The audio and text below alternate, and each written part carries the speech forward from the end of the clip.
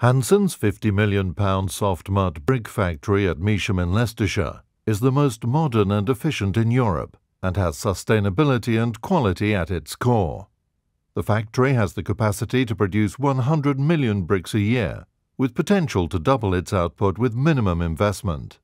Built on brownfield land, previously a landfill site for factory waste, the plant features a low-energy zero-waste production process, which is fully automated and employs just 30 people on two shifts. The factory has been built to the Building Research Establishment's very good environmental standard, with a focus on natural lighting and ventilation, employee health and welfare, energy saving, and water conservation.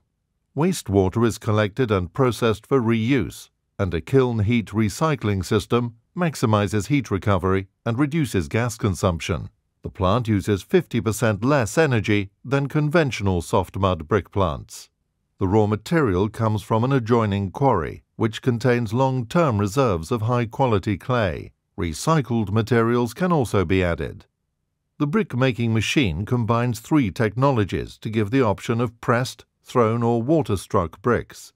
The 200-metre-long tunnel kiln uses natural gas and is designed for maximum heat efficiency. Waste heat from the kiln is used to dry the bricks before firing.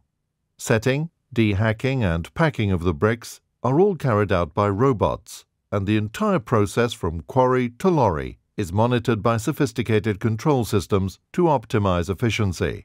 The comprehensive range of bricks produced at Measham is available nationally and offers specifiers, stockists and builders guaranteed color consistency, dimension tolerance and quality the factory sets a new standard for sustainable brickmaking and will ensure Hanson remains at the forefront of the industry for many years to come.